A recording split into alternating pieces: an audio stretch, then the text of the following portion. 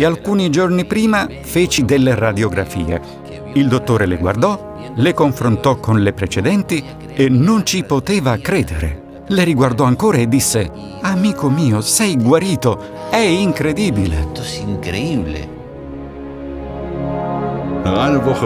Una settimana dopo era sparito ed è ancora così. Non ho più dolore alla schiena e nulla più.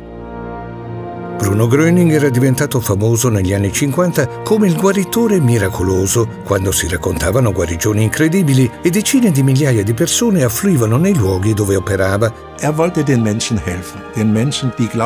Voleva aiutare gli uomini, gli uomini che credevano che lui li potesse aiutare e ho la sensazione che lui potesse davvero aiutare molti di loro e ne ha aiutati anche tanti, per quanto gli fosse permesso agire.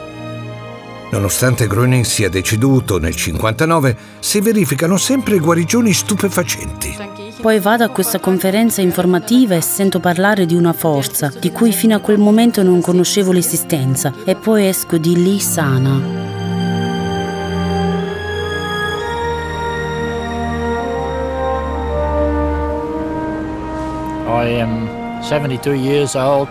Ho 72 anni.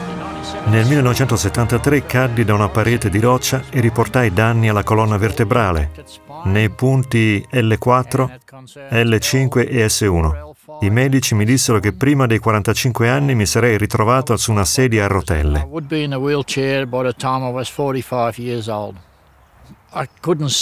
Non potevo stare seduto a lungo, non potevo nemmeno stare a letto, guidare la macchina e io sono pompiere. Normalmente guido il camion dei vigili del fuoco. Era diventato molto pesante, il lavoro era molto duro. Prendeva una quantità di antidolorifici, antinfiammatori e persino farmaci contro gli antinfiammatori per evitare le ulcere. Mia moglie mi portò a un incontro di Bruno Groening. Si era incuriosita a causa di una foto che aveva visto da un amico. Ad ogni modo andai all'incontro. Da allora posso fare tutto quello che voglio. Posso sollevare pesi, riesco a guidare e la troupe del film qui può testimoniare che adesso posso guidare un bus senza problemi. Adesso è di nuovo tra i pompieri, combatte il fuoco, si arrampica sulle montagne, nuota, va per la città in bicicletta, svolge una gran quantità di lavoro. È un uomo molto forte, come se non gli fosse mai successo niente. Siamo tanto, tanto felici. Posso solo dire che ringrazio Dio per la guarigione che ho ottenuto. Oggi il Circolo degli Amici di Bruno Gröning è una delle più grandi associazioni al mondo che si occupano di guarigione per via spirituale.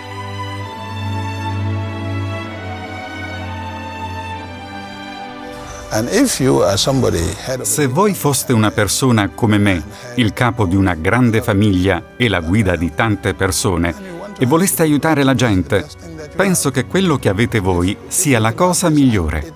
E non costa nulla. L'Einstein mi entusiasmò moltissimo e in qualità di dottore trovai che fosse di grande importanza diffondere questo insegnamento tra gli uomini. Sono idee tanto, tanto piene di forza ed è importante riconoscerle. E quando vi accade una cosa così, allora vi rendete conto che è davvero così